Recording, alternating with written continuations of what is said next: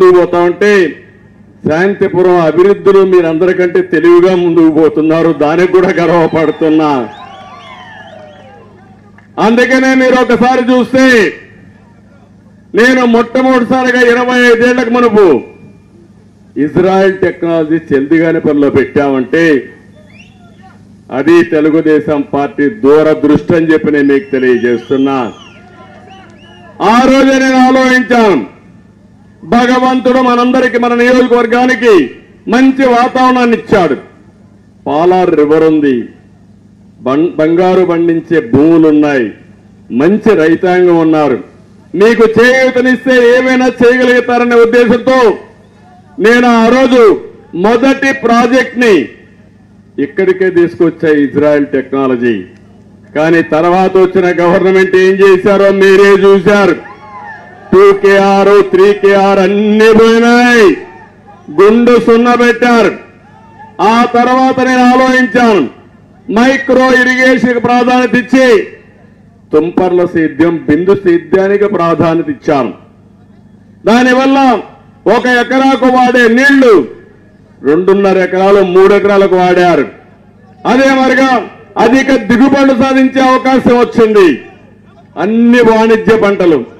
కుప్పంలో పండని పంటే లేదు అన్ని పంటలు వస్తాయి. నిన్నే ఒక రైతు చెప్తున్నారు ఒక ఊర్లో మొన్న టమాటో రేట్లు బాగా వస్తాయి. ఒక గ్రామంలో ఒకే పంట ఐదు కోట్లు సంపాదించగలిగారంటే అది మన రైతాంగానికి ఉండే శక్తి అని చెప్పి నేను మీకు తెలియజేస్తున్నా. అందుకనే ఆ రోజు నుంచి పనిచేశాను. ఇప్పుడు ఈ ప్రభుత్వం వచ్చిన తర్వాత మైక్రో ఇరిగేషన్ పోయింది. ఇప్పుడే మా మిత్రులు ఇక్కడికి వచ్చినప్పుడు బ్రహ్మాండంగా సెరికల్చర్ దండ వేశారు నాకు. ఏదైతే నా కలది ఎక్కువగా ఈ ప్రాంతంలో సెరికల్చర్ రావాలి పట్టు పరిశ్రమ రావాలి దీన్ని కూడా లాజికల్గా తీసుకెళ్ళాలి. దీనికి రీలింగ్ కూడా యూనిట్ పెట్టి లిఫ్ట్ క్లాత్ అనే ప్రోగ్రాము ప్రారంభించింది తెలుగుదేశం పార్టీ మధ్యలో చెడగొట్టింది వీళ్ళు. మళ్ళీ అది నేను చేస్తా. ఒకటే హామీ ఇస్తున్నాను ఎందుకంటే ఒకప్పుడు మీరు నన్ను చూశారు. నేను ఈ ప్రాంతానికి వచ్చినప్పుడు మొదటి ఎన్నికల్లో ఇప్పుడు చాలా మంది ఇక్కడ చాలా మంది నాయకులు ఉంటారు యంగ్స్టర్స్ అంతా ఉన్నారు. తమ్ముళ్ళు ముప్పై ఐదు సంవత్సరాల వయసు తక్కువ ఉండే వాళ్ళకి నా మొదటి ఎన్నిక మీకు తెలియదు. ఈ నియోజకవర్గం ముప్పై ఐదేళ్ళకు మునుపు ఎన్నో ఎట్లుందో ఇప్పుడు ఎట్లుందో తెలియాలంటే ఊరూరు ఒకసారి తిరిగి గత చరిత్ర నెమరేసుకుంటే మీకు అర్థమవుతుంది. అప్పుడు ఒకే ఒక రోడ్డు. వీకోట నుంచి నేరుగా పలమనేరు నుంచి కుప్పం ఉండే రోడ్డు తప్ప ఎక్కడ రోడ్లు ఉన్నాయా అని మిమ్మల్ని అడుగుతున్న పెద్దవాళ్ళని. ఏ ఊరికైనా ఆ రోజు సెల్ ఫోన్ ఉందా అని అడుగుతున్నా. గ్రామాల్లో స్కూల్ బిల్డింగ్లు కానీ హై స్కూల్స్ ఉన్నాయా అని అడుగుతున్నా. అక్కడి నుంచి ప్రారంభించాం మన జర్నీ. అయితే ఒక్క విషయం మీరు గుర్తుపెట్టుకోవాలి. మనం అధికారంలో ఉన్నప్పుడు అభివృద్ధి జరిగింది. మనం అధికారం లేనప్పుడు మన నియోజకవర్గం పట్ల సీత కన్నేశారు. అందుకనే మీరు చూస్తే రెండు వేల నాలుగులో నేను ఓడిపోతే ఇజ్రాయెల్ టెక్నాలజీని మూసేస్తే కడాన ప్రధానమంత్రి ప్రస్తుతం మోడీ గారు గుజరాత్ తీసుకుపోయారు. గుజరాత్లో బ్రహ్మాండంగా అమలు చేశారు. కానీ మన రాష్ట్రంలో అమలు చేసుకోలేకపోయాం. అందుకనే ఈ రోజు చూడండి తెలుగుదేశం పార్టీ అధికారంలో ఉండుంటే అందరి నీవా ప్రతి ఒక్క ఎకరాకు నీళ్ళు వచ్చేటి అవునా కాదా అని మిమ్మల్ని అడుగుతున్నాను ఐదేళ్ళకు మనపు తొమ్మిది సంవత్సరాలకు రెండు వేల పద్నాలుగు కంటే ముందు అందరి నీవా పైన సీత కన్నేస్తే రాయలసీమను సస్యశ్యామలు చేయాలని ఎన్టీ రామారావు ప్రారంభించిన అందరినీవా పూర్తి చేయాలనే సంకల్పంతో ముందుకు పోయా. రాత్రింబగుళ్ళు పరిగెత్తిచ్చా. కడాని ఇక్కడికి నీళ్ళు తీసుకొచ్చా. నేనే వీకోటికి ఓతలు వచ్చి నీళ్ళన్నీ కూడా తీసుకొచ్చి వదిలిపెట్టా. నేను అడుగుతున్నా ఎనభై ఏడు శాతం పనులు పూర్తయినాయి. అంతలోనే ఎన్నికలు వచ్చాయి. పదమూడు శాతం పనులు పూర్తి చేయలేని దద్దమ్మ ప్రభుత్వం ఈ వైఎస్ఆర్ కాంగ్రెస్ పార్టీ ప్రభుత్వం. ఎందుకు కుప్పం అంటే మీకు శీతకన్నం ఎందుకు నిర్లక్ష్యం? నేను ఆ రోజు చెప్పాను ప్రజలంతా ముఖ్యం. నేను ఆ రోజు ముఖ్యమంత్రిగా ఉంటే కుప్పానికంటే ముందు పులివెందులకు నీళ్ళు ఇస్తారని మాట నిలబెట్టుకున్న పార్టీ తెలుగుదేశం పార్టీ. నేను కుప్పానికంటే ముందు పులివెందులకు నీళ్ళు ఇస్తే ఈరోజు నీకు బాధ్యత లేదా అని అడుగుతున్నా ఈ ప్రభుత్వాన్ని. ఇక్కడ నాయకులకు సవాలు విసురుతున్నా. ఎందుకు ఈ నిర్లక్ష్యమని? ఎవరి పాపం అని అడుగుతున్నా? అది కానీ పదమూడు శాతం పూర్తి చేసుంటే ఈరోజు నీళ్ళు వచ్చుంటే ఈ మీరు చూస్తున్నారు పాలార్లో ముప్పై ఐదు చెక్ డ్యాములు కట్టించిన పార్టీ తెలుగుదేశం పార్టీ. మనం ఉండుంటే ఆ నీళ్ళు కూడా వస్తే ఎక్కడికక్కడ చెరువులన్నిటికీ నీళ్ళు పెట్టి చెక్ డ్యాములు ఫుల్గా పెట్టి ఎక్కడ కూడా వంద అడుగుల కంటే కిందన భూగర్భ జలాలు దిగకుండా చేసి మిమ్మల్ని కాపాడే బాధ్యత తీసుకునేవాళ్ళం నీటి సమస్య లేకుండా కుప్పం నియోజకవర్గం ఎప్పుడు కూడా కరువు అనే మాట లేకుండా చేయాలని నేను ముందుకు పోతే దానిపైన సీత కన్నేసి నేను అడుగుతున్నా ఏమొచ్చింది మీరు చెప్పమంటున్నా. ఇంకో పక్క మీరు ఒకసారి చూస్తే ఈ రోజు ఇక్కడ మంత్రి ఉన్నాడు మీరు ఒక్క విషయం గుర్తుపెట్టుకోవాలి. పరిగెత్తా వస్తా ఉంటాడు ఇక్కడికి. ఎందుకు వస్తాడు? మన మీద ప్రేమగా తమిళ్ళు మన గ్రనైట్ మీద ప్రేమ. ఇక్కడ గ్రనైట్ గన్లు ఉన్నాయి. అందులో లెక్కలు ఉన్నాయి. ఆ లెక్కలు తెలుసుకోవాలి కాబట్టి ఇక్కడికి వచ్చి అందరికీ క్వార్టర్ బాటలు తాగిచ్చి మన ఆస్తులను దోపిడీ చేసుకుంటూ పోయే మంత్రి. ఎంత దుర్మార్గం అంటే నేను ఒకటే విషయం అడుగుతున్నా. ఈ వైఎస్ఆర్ కాంగ్రెస్ నాయకులకి ప్రజలకు మంచి చేయాలన్న ఆలోచన లేదు. ప్రజల పేరుతో ప్రభుత్వంలో పెద్దలుగా ఉండి దోపిడీ చేసే పరిస్థితికి వచ్చారు. నేను అడుగుతున్నా ఈ శాంతిపురంలో నేనే ఇక్కడికి వచ్చాను. నేను అక్కడ ఇక్కడికి వచ్చి క్వారీ దగ్గరికి వెళ్ళాను ఇల్లీగల్ క్వారీ దగ్గరికి వెళ్ళాను. నన్ను పోనీయకుండా చేయాలంటే కాదని నేను బలవంతంగా వెళ్ళి వీళ్ళు చేసే అన్యాయాన్ని దోపిడీని ప్రపంచ దృష్టిలోకి తీసుకొచ్చా? అంతేకాదు అధికారులకు రాశాను చీఫ్ సెక్రటరీ రాశాను గవర్నమెంట్ ఆఫ్ ఇండియాకి రాశాను కొన్ని రోజులు నిలిపేశారు. మళ్ళీ ఇటీవల కాలంలో ఏం తమ్ముళ్ళు గ్రెనైట్ దొంగ వ్యాపారం వెళతా ఉందా లేదా అని అడుగుతున్నా? యథేచ్ఛగా వెళతా ఉందా లేదా? అంటే మీకు అర్థం లేకుండా అయిపోయింది. గ్రామాల్లో కూడా కొన్ని గ్రామాలు అడుగుతున్నారు. ఎట్లా చేస్తారు అడిగితే దానికి సమాధానం చెప్పే పరిస్థితులు లేరు. అలాంటివన్నీ కూడా మీరు చూస్తే చాలా సమస్యలన్నీ. ఒకటి రెండు కాదు. ఇంకో పక్క మీరు చూడండి. ఈ నాయకులకి పదమూడు పర్సెంట్ అందరినీ వా పూర్తి చేయలేరు కానీ పనులన్నీ వీళ్ళకే కావాలి. ఇసుక మద్యం మైనింగ్ భూములు ఏది వీళ్ళ కళ్ళ మీద పడితే ఇంకా అది మటాష్ ఇంకేమీ దొరకదు మనకు. ఇంకో పక్క మీరు చూస్తే ఆవులపల్లి మీకందరికీ ఒక ఉదాహరణ. పుంగునూరు ప్రాజెక్టులో ఇది ఉంది పుంగునూరు నియోజకవర్గంలో ఉంది. అవసరం ఒకవేళ అవసరం ఉన్న ప్రాజెక్ట్ని రైతులకి ఆర్ అండ్ ఆర్ ఇవ్వాలి.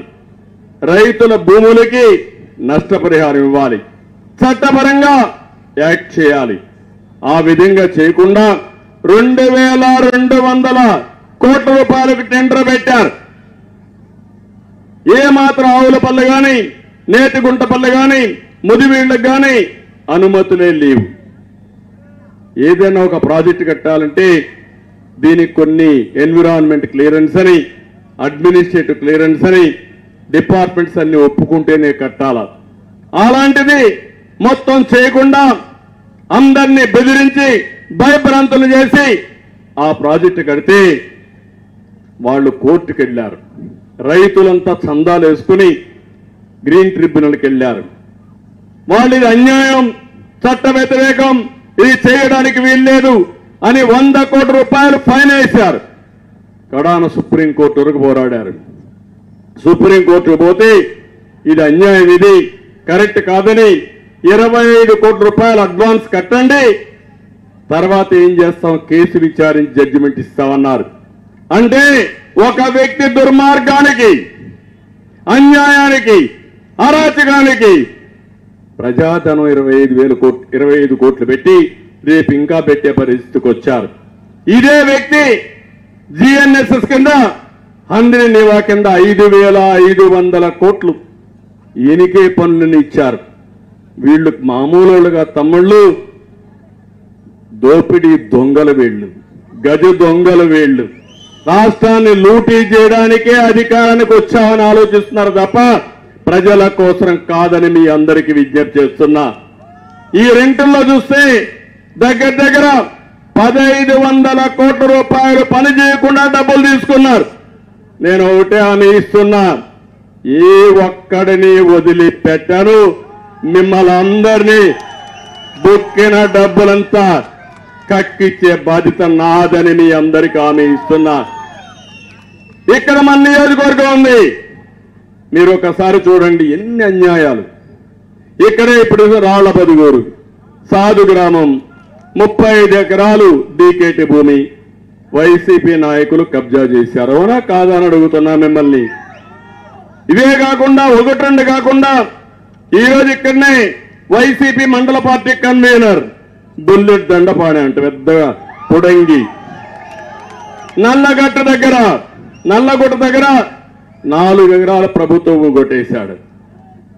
అబకరదొడ్డి దగ్గర ఈశ్వరుని దేవాలయం తమ్ముళ్ళు దేవాలయాలకి దేవుడికే దిక్కు లేకుండా చేస్తున్నారు ఈ దుర్మార్గులు. అక్కడ కబ్జా చేశారు భూమి అంతా ఇంకో పక్క ఎంపీ నిధులతో బస్ షెల్టర్ కడితే వీళ్ళ భూమికి జాగా కావాలని ఈ మండల కన్వీనర్లంతా ఆ బస్ షెల్టర్ కొట్టేసే పరిస్థితికి వచ్చారు. ఇంకో పక్క చెంగుబల్ల పంచాయతీలో పొలానికి దారి కోసం వీళ్ళందరిని చూస్తే చెరువులను కూడా షెడ్ షెడ్ నిర్మించిన నిర్మించి మొత్తం వీళ్ళు ఇష్ట ప్రకారం చేసే పరిస్థితికి వచ్చారు. ఏడో మైలు పక్కనే ఆరు పాయింట్ ఆరు ఐదు సెట్ల భూమిని స్వాధీనపరుచుకుని షాపింగ్ కాంప్లెక్స్ కట్టేశారు. ఇంకో పక్కన మీరు చూస్తే ఏపీఐఏసి గోకుల్ దాస్ గార్మెంట్స్కి ఇచ్చిన నాలుగు ఎకరాల అరవై సెంట్లు పదిహేడు మంది వైసీపీ నాయకులు కబ్జా చేసే పరిస్థితికి వచ్చారు ఊర్లో ఉన్నంత వ్యతిరేకించి కలెక్టర్ తెరిపోయే పరిస్థితికి వచ్చారు.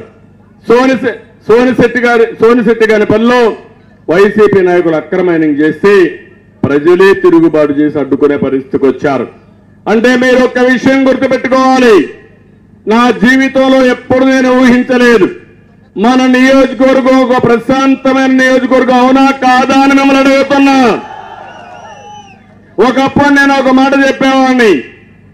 ఏ నియోజకవర్గంలో అయితే పోలీస్ స్టేషన్ కోర్టుకు పోయే పని లేని నియోజకవర్గం ఆనందంగా ఉంటారని.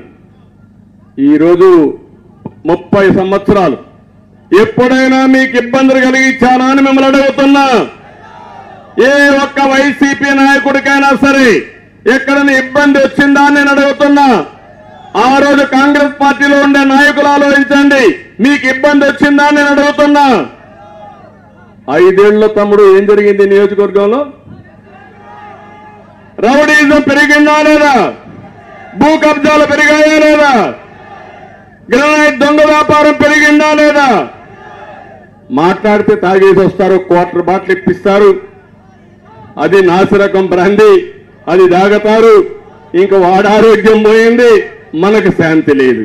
అవునా కాదా? యువతను పెడదారిని పట్టించారు. నేను ఒకటే ఆలోచించాను. యువతను ముందుకు తీసుకుపోవాలని నేను ఆలోచిస్తే వీళ్ళు పెడదారిని పెట్టే పరిస్థితికి వచ్చారు. నేను అందుకనే మిమ్మల్ని కోరేది ఒకే ఒక విషయం. ఈరోజు రోజు నేను ఒకటే హామీ ఇస్తున్నా. ఇక్కడ అభివృద్ధి అంతా మనమే చేశాం. రెండు వందల ఇరవై కేవీఏ సబ్ స్టేషన్ కానీ బీసీ రెసిడెన్షియల్ స్కూల్ కానీ ఐటీఐ బిల్డింగ్ కానీ రాళ్ళబదుగూరులో జూనియర్ కాలేజ్ కానీ ఏపీ మోడల్ స్కూల్ కానీ అన్ని స్కూల్స్కి ప్రహరీ గోడలు కానీ పాలారుపై చెక్ డ్యాములు కానీ టీటీడీ కళ్యాణ మండపాలు కానీ ఒకటి రెండు కాదు అన్ని పనులు మనమే చేశాం. అదే మారిగా రాళ్ళ రాళ్ళ గంగమ్మ గుడికి ఐదు సెంట్లు ఇస్తే అది కూడా క్యాన్సిల్ చేసే పరిస్థితికి వచ్చారు. అంటే ఎక్కడికి పోతున్నారో నాకైతే అర్థం కావడం లేదు. ఇలాంటివి వచ్చినప్పుడు మళ్ళీ ఒకటే హామీ ఇస్తున్నాం. ప్రతి ఒక్క ఊర్లో ఎక్కడైనా సరే సిమెంట్ రోడ్డు కానీ లేకపోతే అన్ని ఊర్లో సిమెంట్ రోడ్లు వేయించే బాధ్యత నాదని మీ అందరికీ ఆమె ఇస్తున్నా. మీ పొలాలకు పోయే రోడ్లన్నీ వేయించే బాధ్యత కూడా తీసుకుంటామని చెప్పి నేను మీకు తెలియజేస్తున్నా. ఇదే కాదు గ్రామంలో పరిశుభ్రంగా అవడం కోసం నేను ఆ రోజు చెత్త నుంచి కాంపోస్ట్ తయారు చేసి షెడ్లు కట్టాను. అవి కూడా పోయినాయి. అదే మరిగా మరుగుదొడ్లు కట్టాం. వంట గ్యాస్ ఇచ్చాం. ఇంకో పక్క వీధి దీపాలు వేసాం. మంచినీరన్నీ కూడా ఎన్టీఆర్ జలశ్రీ కింద రెండు రూపాయలకి ఇరవై లీటర్లు మినరల్ వాటర్ ఇచ్చిన పార్టీ తెలుగుదేశం పార్టీ దాన్ని కూడా నాశనం చేసేశారు. ఇవన్నీ కూడా ఈ నేను ఒకటే మీకు హామీ ఇస్తున్నాను. అన్ని గ్రామాల్లో మౌలిక సదుపాయాలు పూర్తి చేస్తాను. అన్ని గ్రామాలకి సిమెంట్ రోడ్లు కానీ డబల్ రోడ్లు కానీ ఏపిచ్చే బాధ్యత నాదని మరొకసారి మీ అందరికీ హామీ ఇస్తున్నా. ప్రాథమిక ఆరోగ్య కేంద్రాలు ఇవన్నీ కూడా వేపిస్తాను ఇంకో పక్క ఇక్కడికి వచ్చినప్పుడు శాంతిపురం గడ్డూరు నుంచి కర్ణాటక సరిహద్దు వరకు డబుల్ రోడ్డు కావాలన్నారు. తప్పకుండా ఏపించే బాధ్యత తీసుకుంటాం. శివరామపురం నుండి వయా కొలమడుగు వరకు దండికుప్ప వరకు డబల్ రోడ్డు కావాలన్నది కూడా వేస్తాం. రాళ్ళ పదుగూరు నుంచి శివరాంపురం వయ గోవిందపల్లి వరకు డబల్ రోడ్డు కావాలన్నారు. ఇవే కాకుండా అన్ని గ్రామాలకు అనుసంధానం చేద్దాం. అది చేసి ఇప్పుడే ప్రణాళిక తయారు చేసుకుంటాం. ప్రభుత్వం వస్తానే అమలు చేసే బాధ్యత పార్టీ తీసుకుంటామని మీకు అందరికీ ఆమె ఇస్తున్నా. శాంతిపురంలో శాంతిపురంలో ఏవైతే ఎక్కడన్నా వేకంటి భూములు ఉంటే అవన్నీ రిజర్వ్ చేసి అవసరమైతే కొన్ని భూములు అక్వైర్ చేసి కూడా మళ్ళా మన పిల్లలకు ఉద్యోగం కల్పించడానికి ఇండస్ట్రీస్ పెట్టే బాధ్యత తీసుకుంటాను. ఇక్కడ ఒకే ఒక విషయం గుర్తుపెట్టుకోవాలి మీరు. యువత ఉన్నారు యువతను చూస్తే నాకు కొండంత ధైర్యం. తమ్ముళ్ళు యువత పద్దెనిమిది ఇరవై ఐదు సంవత్సరాల నుండి యువత ఆలోచించండి. ఎవరికైనా ఒక్కడికి ఉద్యోగం వచ్చిందా ఐదేళ్ళలో? జాబ్ క్యాలెండర్ ఏమైంది? డిఎస్సి పెట్టాడా? టీచర్ ఉద్యోగం ఇచ్చాడా? ఇండస్ట్రీస్ వచ్చాయా? ఎక్కడన్నా ఒక ఉద్యోగం వచ్చిందా? ఇంకా మీకు మాత్రం కోపం రాలా.